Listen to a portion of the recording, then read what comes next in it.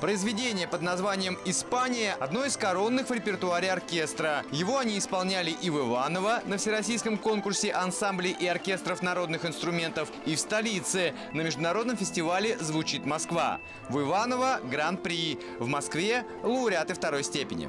В 4 часа утра встали, постояли в пробках, а, долго ехали. Разыграться, как естественно, условий не было.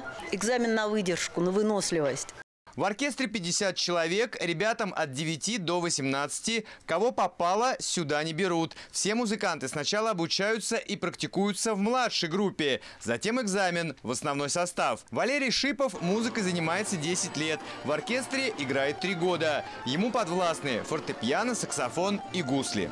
Они бывают расстраиваются прямо во время выступления, и надо как-то подстраиваться, ну, это необъяснимо как-то. То есть mm-hmm. импровизировать. Потом Галина Борисовна, дирижер наш, э, спрашивает об этом, что случилось. Ну, не по моей же вине они расстраиваются.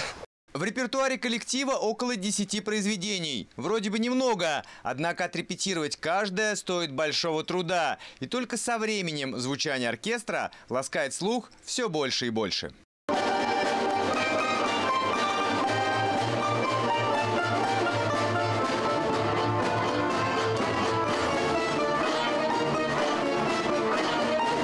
Прежде чем приступить к репетиции непосредственно целым коллективом, ты разбираешь это еще самостоятельно. Но я вам честно скажу, мне разбирать самые новые произведения изначально сложно. А потом уже прислушиваешься, и со временем становится не так уж и сложно. Победами владимирские музыканты могли радовать и чаще. Они уже завоевывали гран-при и покоряли Чехию, Францию, Италию.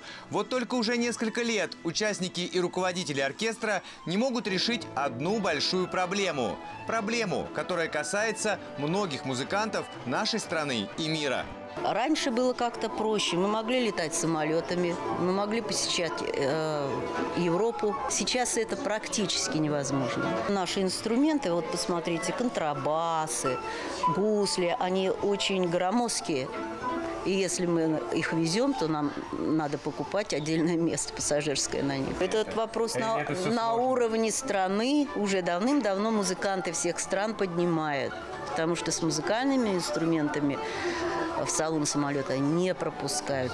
Следующий конкурс у коллектива русских народных инструментов детской школы искусств номер два в декабре. Снова в Москве. Бороться они будут вновь за самые высокие места. А в следующем году музыканты отпразднуют свое 25-летие.